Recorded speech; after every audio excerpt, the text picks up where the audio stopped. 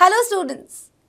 In this module, we are going to study the large-scale manufacture of sulfuric acid using contact process. As we can see on the screen is the setup for the plant of manufacturing of sulfuric acid which is used in the industries. Let's study each and every part of the plant in detail. First on the left hand side we have the blower where air is pumped inside the plant. We also have the iron pyrite or sulfur burners where sulfur or iron pyrites undergo oxidation in the presence of air to form sulfur dioxide. Next, the entire setup as we are going to see is for cleaning the sulfur dioxide so formed. Sulfur dioxide is first put into dusting tower where all the dust particles are settled down. Further, it is sent through cooling pipes where sulfur dioxide is cooled after which it is taken to the scrubbing tower for further removal of dust particles and then to drying tower to remove any amount of moisture which is present. And finally to the arsenic purifier where arsenic oxide impurities are removed.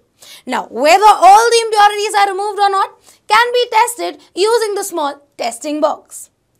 Clean and dry sulfur dioxide which is formed it's next sent to the contact tower. Now this student is the most important process of the entire plant where sulfur dioxide is getting converted to sulfur trioxide. After the sulfur trioxide conversion, it is taken into the absorption tower where it's absorbed by concentrated sulfuric acid. After absorption by sulfuric acid, it is then finally diluted in the dilution tank for the concentration which is required. This is the entire setup of the plant. Now let us begin with the main process that is the contact process. Now the main reaction which is happening over here is the clean and dry gaseous mixture of sulfur dioxide and oxygen which is then passed through the contact tower. That is, SO2 is reacting with O2 to form SO3. Now, this reaction is not very feasible and hence we require a catalyst to increase the speed of the reaction. The catalyst which is added is vanadium pentoxide. Again, we can also use platinized asbestos as a catalyst, but it is not preferred. The reason is because vanadium pentoxide is cheaper and it is less easily poisoned by impurities. So even after all that purification, if some amount of impurities are present, they might poison the platinized asbestos catalyst, which is rare in case of vanadium pentoxide. The promoter which is used over here. Now what is exactly a promoter?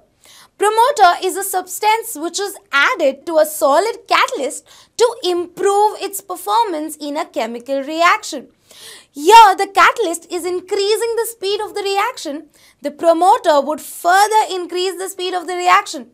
The promoter which is used here is potassium oxide along with vanadium pentoxide. Now, this is the reaction which is happening between sulfur dioxide and oxygen. Let us first study the first step where we are forming sulfur dioxide.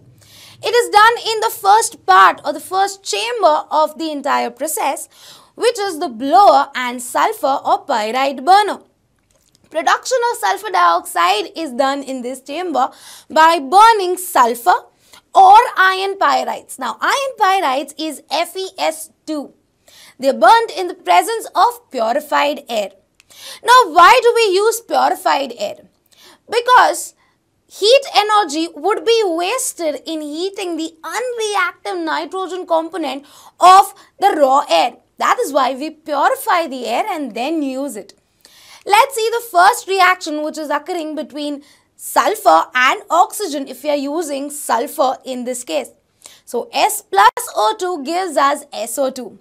As we can see this reaction is self-balanced.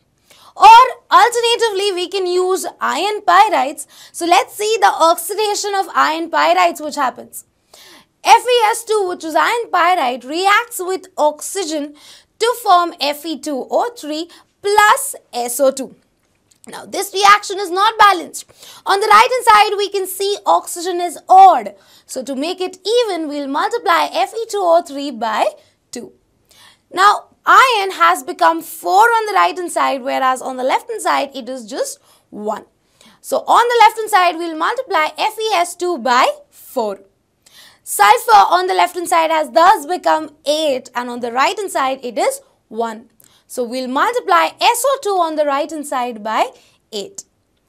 Total oxygen on the right hand side has become 22 now. So left hand side oxygen will be multiplied by 11. And hence we have the balanced chemical equation for FeS2 plus 11O2 giving 2Fe2O3 plus 8SO2.